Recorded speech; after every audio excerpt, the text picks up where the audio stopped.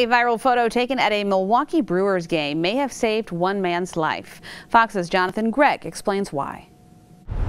At Aurora St. Luke's, this is going to be more than a first meeting. This is a very uh, important event.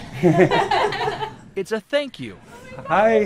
That will last a lifetime. Hi, it's so nice to finally meet you. Lenny Zwieg is the tall man on the right and in need of a kidney. Late 2004 is when I initially got sick um, with, with dengue fever. Zwieg has been on dialysis for more than two years. Once someone goes on dialysis, we know their risk of dying from a cardiac event goes up significantly after a year. Fast forward to April 3rd when Lenny Zwieg wore this shirt to a Brewers game. It says, Father of three needs a kidney. I took a picture of the back of my shirt and posted it on Instagram and then posted it on Facebook and it just blew up. The picture was shared more than 17,000 times and seen by 24 year old Emily Nowak from Wausau was just like, oh my gosh, I can't imagine if that was my dad. The second grade teacher was a match, but only at first. But due to her, her size differences, her kidneys were too small, actually. But here's the twist. But we enrolled her in the National Kidney Registry. The two entered the registry as a pair. Yeah, because now somebody else will be getting my kidney, and then somebody will giving